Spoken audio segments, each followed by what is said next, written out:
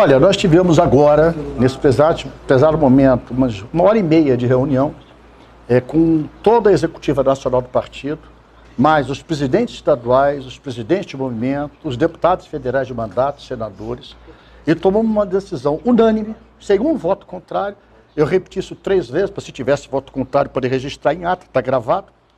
A decisão de apoiar o mais próximo da gente, que é a candidatura do Lula, que eu chamo de candidatura do 12 mais um. É, foi uma decisão unânime, apresentando três projetos que não, eu pessoalmente falei com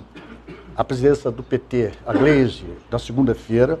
a questão uh, da renda mínima, que é um projeto até do Eduardo Suplicy, que o nosso Ciro aprovou e colocou na plataforma do Programa Nacional de Desenvolvimento, a renegociação da dívida do SPC e das pequenas empresas, a questão do, da escola e ensino integral, é claro que isso não se, não se impõe à federação, a federação tem que liberar os recursos para que isso seja colocado nos municípios e nos estados, e hoje aprovamos também a proposta que não foi falada ainda com o PT, eu quero ser justo, mas será colocado,